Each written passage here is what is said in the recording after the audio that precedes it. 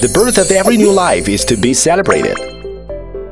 This wonderful process is sometimes accompanied by uncertainties, such as the risk of genetic defects due to chromosomal abnormalities.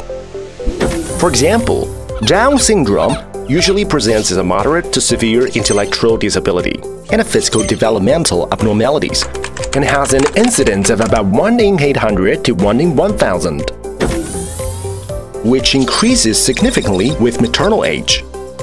Timely and comprehensive prenatal screening not only helps parents to better understand the health status of the mother and baby, but also helps healthcare providers to detect abnormalities early and plan for treatment.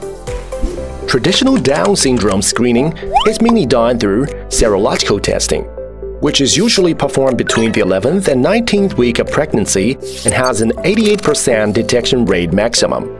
However, NGS-based non-invasive prenatal testing NIPT can be performed as early as the 10th week, while raising the detection rate of Down syndrome to over 99%. Unnecessary invasive testing can be effectively avoided, and false negatives are significantly reduced.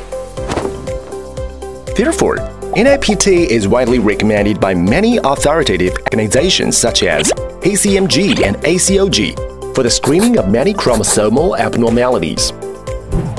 Under the judgment and guidance of professional doctors, NIPT is suitable for screening advanced pregnancy, twin pregnancy, and pregnancies with history of trisomy, high risk of aneuploidy, contraindications for invasive procedures, or in vitro fertilization.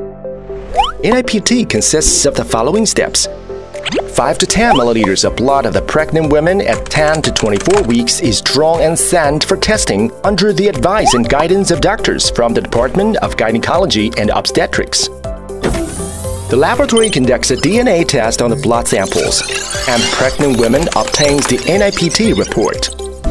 If there is a conclusion indicating a high risk in the NIPT report, the pregnant women should undergo further prenatal diagnosis as advised by doctors from the Department of Gynecology and Obstetrics.